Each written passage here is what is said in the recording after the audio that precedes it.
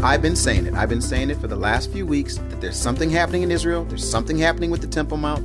There's something happening. I stayed there longer than I was supposed to. This is Keith Johnson, your host of the BFA International audio blog, where I'm just telling you right now. I, okay, I'm overwhelmed. I have actually come during the Keymaker's lunch break, folks. He's actually eating. What are you eating, Keymaker? He's eating some kind of uh, he made me go and get him some some chicken fried rice for me to come over. I listen. I negotiate with the guy so I can get this stuff up. This is time sensitive. Breaking news just happened, hot off the presses. Uh, folks, I'm excited. I am really excited right now because I've gotten a chance to see the fruit of our labor over these last few weeks. The special thing that I did today, I actually called over to Israel to my friend Yehuda Glick, who just hosted an emergency meeting in Jerusalem on the issue regarding the freedom uh, to pray on the Temple Mount. It was well received. This weekend, when he called, he said, Hey, listen, could you put together a quick video? I did it. And about the day before I was going to record it, something came to me. And that was this. Here, this is going to be a video where uh, basically everyone there is going to be speaking Hebrew, not English. So why not go ahead and start the video out in English or Hebrew and then switch to English for you folks? And so I did both and it was well received. I called uh, Yehuda today and asked him if he would get on this audio blog with me because we just found out this morning there was an article written as a result of the uh, the conference itself. One of the things they highlighted is this particular uh, title. It says this: U.S. pastor urges global campaign for Temple Mount prayer rights. Arutz Sheva. It's the Israel National News. I Woke up to this. I called the keymaker. He's not supposed to be dealing with me today. I said, Keymaker, is there any way for our folks, if I can get this interview, can we go ahead and put up this time sensitive breaking news, hot off the presses, audio blog? And he said, Yes, if you bring me rice. No, that's what you said. And now he's eating rice. I'm recording. We're trying to work this out. Here's the interview, folks. I want you to listen to it right now. You're going to get a chance to see exactly what I feel compelled to do. Uh, listen to the interview, and then after that, I'll come right back to you. Okay, folks, I am here. I've gotten a hold of Yehuda. He's in Israel. I know you've been very busy, Yehuda. Could you just greet the BFA uh, audio blog listeners right now from uh, from the land of Israel? Okay, shalom to the BFA audio blog from Jerusalem, Israel. God bless you all. Yehuda, you are amazing. We've had an amazing journey. Could you could you just take us back a little bit? I was in the land of Israel. I stayed longer than I was supposed to, and you and I had a few happenstance meetings uh, where we where we we just got a chance to go deeper into this. But something happened that I don't think a lot of people realize, and that is while I was there, you actually uh, went up for a trip to the Temple Mount by yourself, just for a time of prayer and reflection. You had your normal folks that are around you, and and something happened up there that folks have not heard. That since that day, which is I believe 34 days ago, you have not been allowed uh, to ascend. Can you just bring us up to date on what exactly happened? Well, I was uh, on the. Usually, I go up to the Temple Mount with groups with my guide, and uh, then I pretty much talk to them. But here, I had a, a, day that I didn't have any a group, so I decided to go up on my own to to talk to God as I as I as I do at Temple Mount. I usually go up to Temple Mount every single day.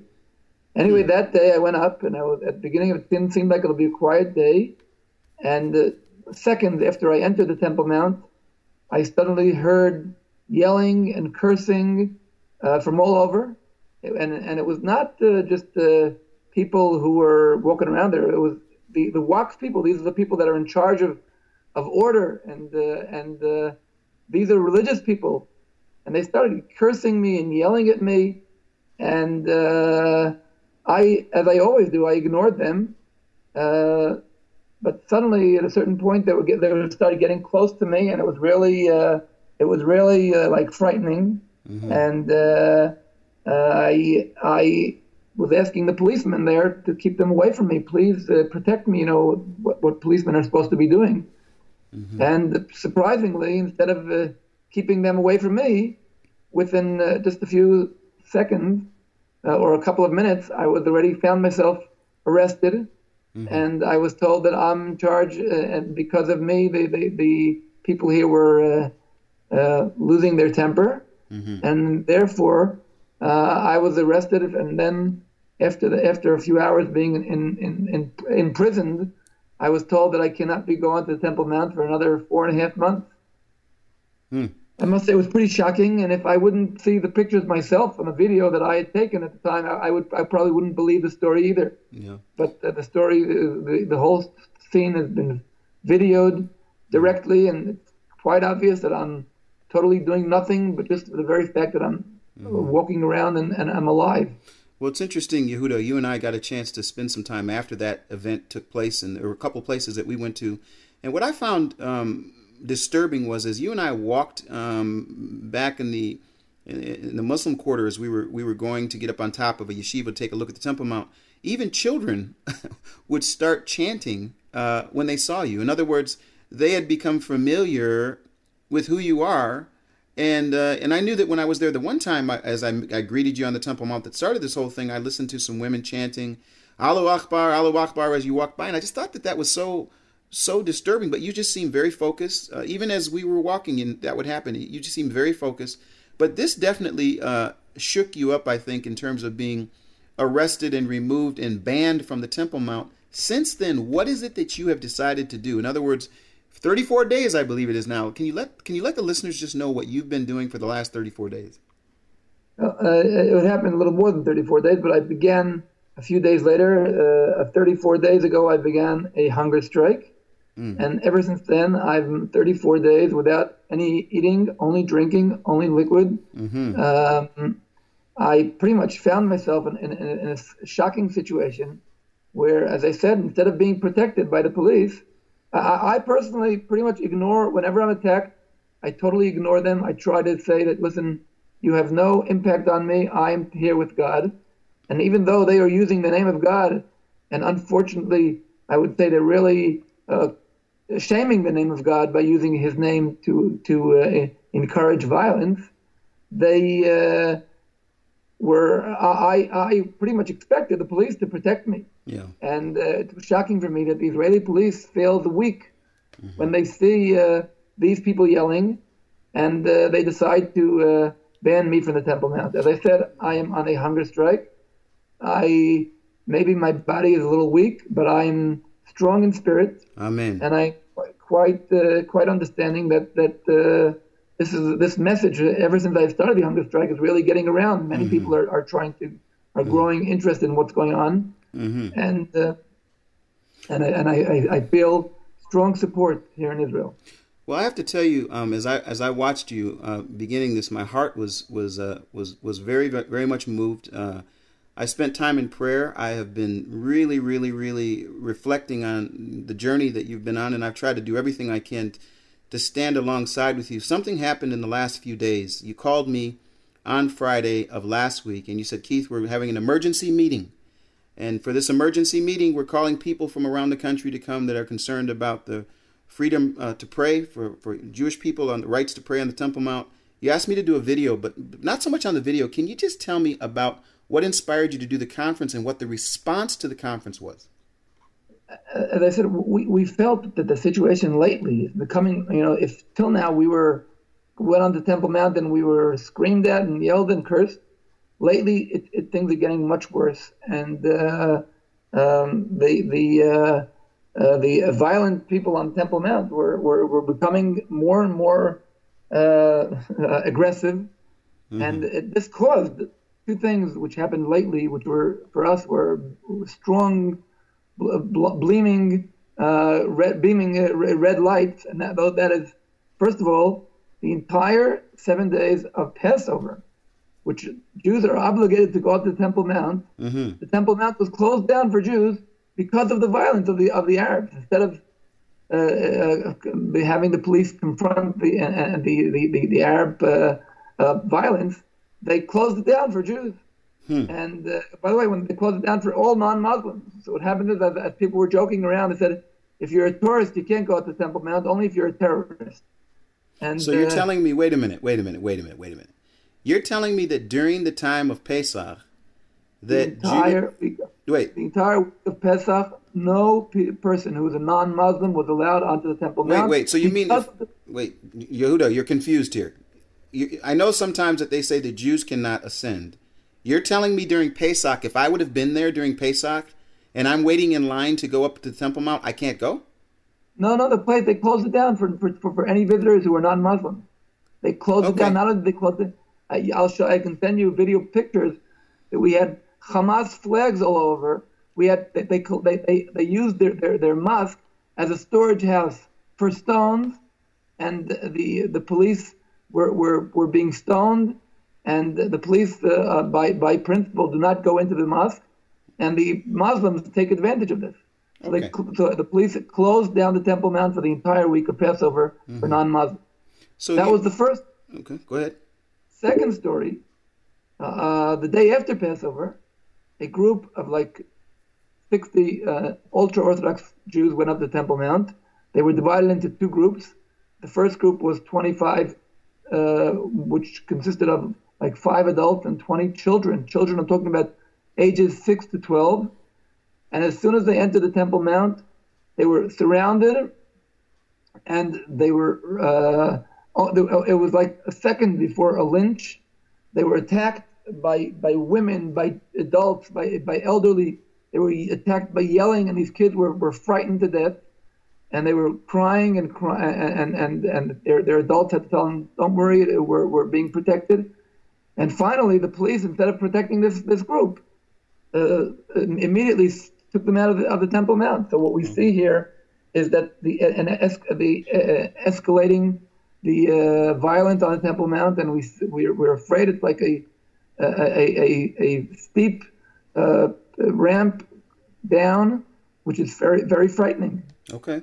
So so you're telling me that so then after that event, they, they right sh- after that, they right sh- after that, and, and that video of that of the, that those children was sent around, and, and we, we already had over hundred thousand people who have seen this video, and, and and we decided we, enough is enough. Okay. And this is what this was the, the, the headline of the of the conference we held, the emergency conference we held last night. Okay. It was Ad Kan, which means in Hebrew enough is enough, and we're not going to tolerate this anymore. well, And see, it, and it was shocking that with, within a very short notice, yeah. through the uh, just only through the uh, Facebook, we filled the uh, the uh, the the uh, Begin Center last night to a point that there was not enough room for the people who had came. We, we were expecting like 150 people, and we had a, a turn a turn a turn down of, of, of over 400 Wow. and people were coming, and people said uh, we had including members of Knesset, including uh, w- well-known rabbis, including students, simple students from, from, from universities, people who just poured in, religious, unreligious, ultra-orthodox. We all agreeing that enough is enough. We're not going to tolerate this anymore. So you, you allowed me to uh, you allowed me to send a, a short video. Uh, I know this was a Hebrew speaking conference, and I, about a, a couple days before uh, I was going to do that, I realized, wait a minute, this is all Hebrew speaking. I should at least do something in Hebrew. And you you, you, you allowed my video to be played. What? It was played entirely. It was it touched the hearts of people. It was applauded, and the Israeli uh, Israel International News the website took it and today and put it out in a headline in English. Uh, it was really everybody was there, so that was that was that was a real touching message.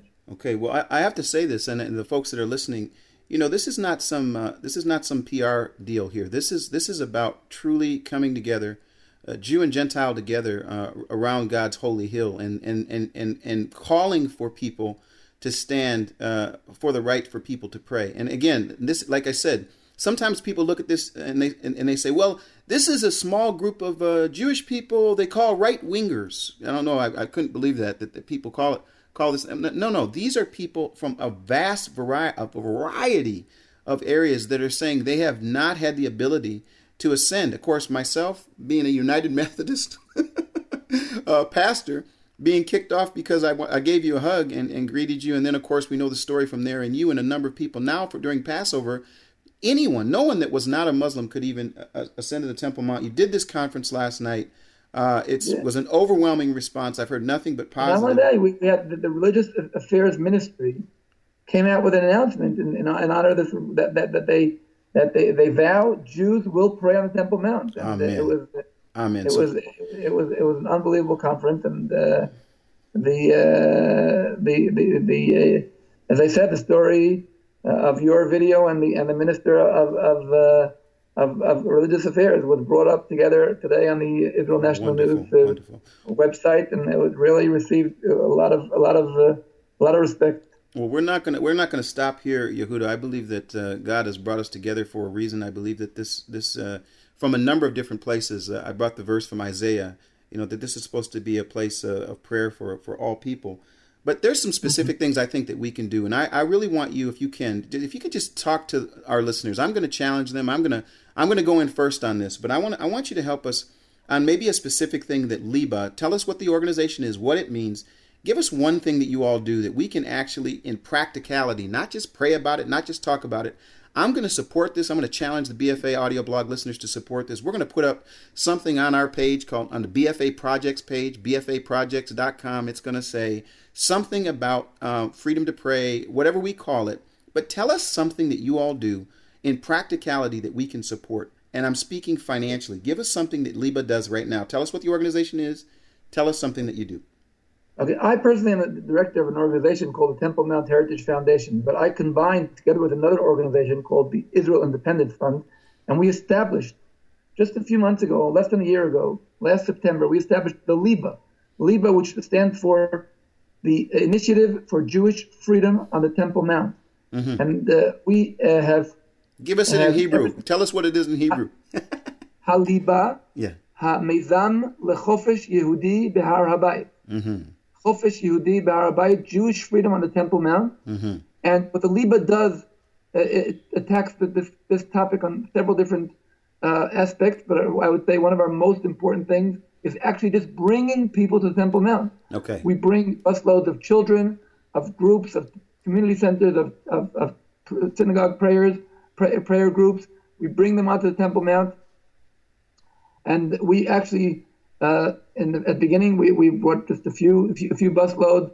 Uh, I would say at the beginning we brought like one or two a week. And now we have a request for almost like one or two a day. Mm. And and and, and uh, this is this is a major uh, uh, our, one of our major expenses just bringing busloads of, of, of, groups to the Temple Mount because we, we are here to say to the, the Arab population, we're not giving up. Here we are. Amen. We are here to, to, to stay. And if you're going to have to learn to cope with that, you're going to have to learn to tolerate that.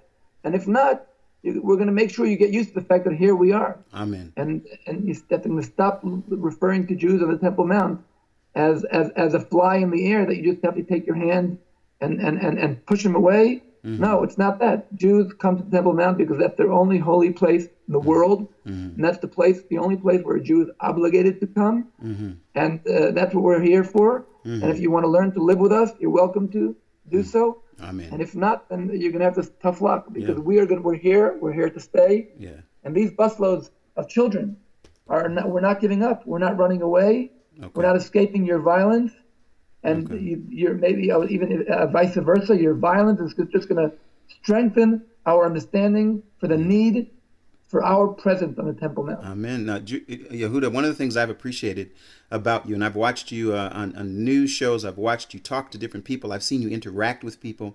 One of the things that you talk about, and I want to kind of end with this, is just the way that you have said on a regular basis, uh, your friendships uh, you know, this is not an anti-Muslim deal. You've had friendships with Muslim people. You have uh, relationships with the people, even up on the Temple Mount, whether it be police or not, and that you've always called for some mutual respect.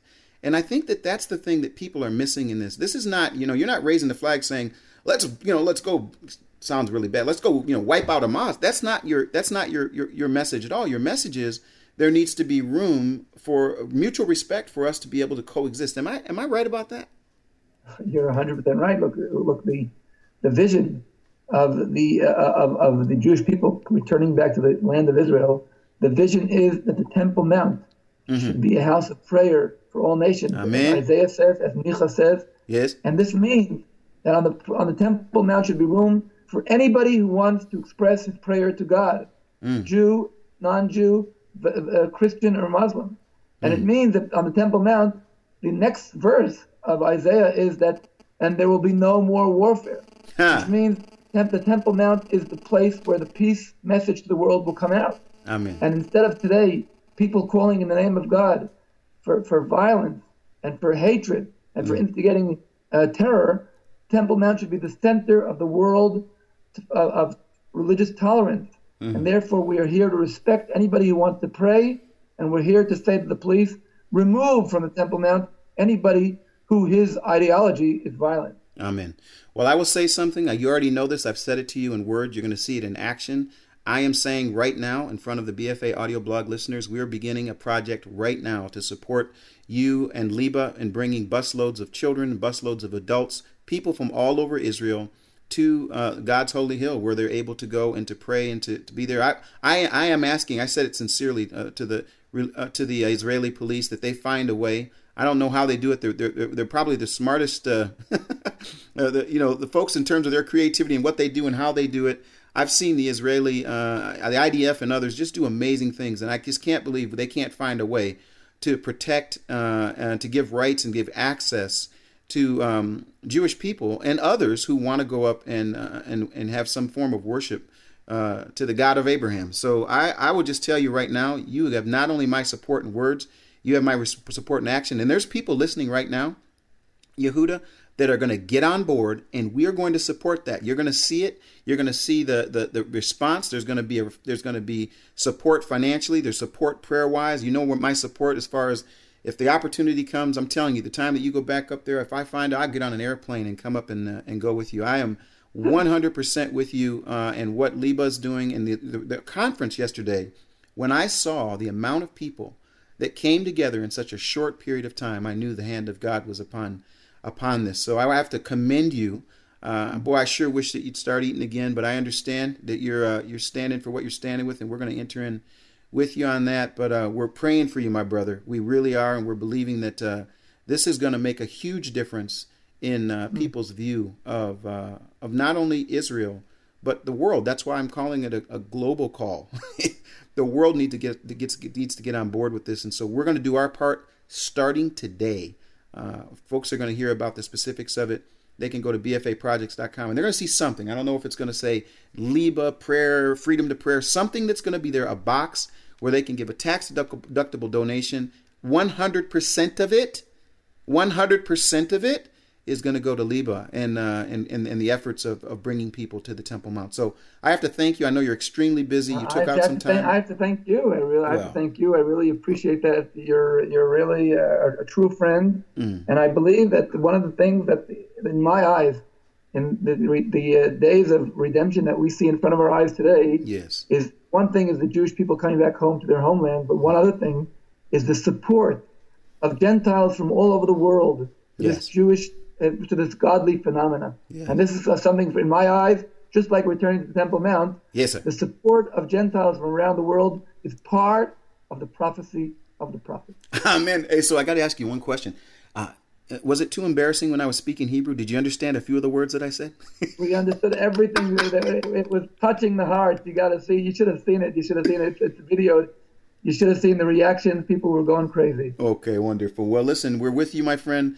Uh, blessings to you as you go forward, and you will see a response immediately. We're going to be uploading this immediately. You're going to see an immediate response, and you should just know that those of us are over here and around the world are standing with our Jewish brothers and sisters and all people who want to ascend God's holy hill and uh, be able to pray. Amen. Amen. Thank you. Okay. Well, like I like to say, there you have it. Uh, Yehuda just gave us uh, exactly what's going on. We talked about everything. You're hearing stuff that even the world hasn't heard, really, I don't think. And and I'm so appreciative of that. But you know what? Standing with Israel is one thing with the mouth. I think it's also got to be with the feet. I think there's a way for us to do something significant regarding this. And so I have called our administrator, Karen Baynard, and I've told her what I feel led to do. Uh, she agreed. I've called the keymaker, and he agreed. And so we are going to have up right now a campaign, Freedom to Pray on the Temple Mount campaign, where everything that we raise is going to go specifically to helping those folks from around Israel come to the Temple Mount and be able to go up and, and to continually have a presence there. I believe it's biblical. I believe it's practical. I believe it's also what it means to stand with Israel. Uh, we're going to step in right now, the BFA, and I, and I don't need to, you know, make a big deal out of this, but I'm just going to let you know we're going to take a step of faith and we're going to put in the first seed. And that first seed, we're trying to raise at least $5,000. I'd like to have it done in the next couple weeks. We're going to put in the first thousand and I know everyone's looking at me like, what are you talking about? We're going to do that because I believe with vision comes provision. And I've been led uh, through this whole process with Yehuda regarding the Temple Mount. I think God's hand has been upon it. So by faith, I'm asking uh, uh, for those of you that are willing to go to the project page, you're going to see an actual campaign there. You should see the first thousand is there, and that is from us, the BFA staff. And, and folks, we're putting in the first thousand because we believe in what it is that uh, we believe is going to happen. We think there's going to be change on the Temple Mount. We think that this has got something to do with a bigger plan uh, than just us, of course. So that's what it is. Go to bfaprojects.com, support this. Um, aspect. You're going to see everything else that we're doing, and I've always called people to look at that. But right now, 100% of what we do for this uh, Freedom to Pray uh, on the Temple Mount, whatever you give to that specific project is going 100% to them. Tax deductible for you here in the United States. And of course, they also have, an, I'm going to have some information uh, that you can get more information about what they do and their organization, uh, etc. But again, you all, we are working. This is a last minute situation, but it just came up. There's the article here for you to read. Here's the video for you to watch. Like I like to say, if you will keep watching, if you will keep listening, if you will keep reading, we will keep working.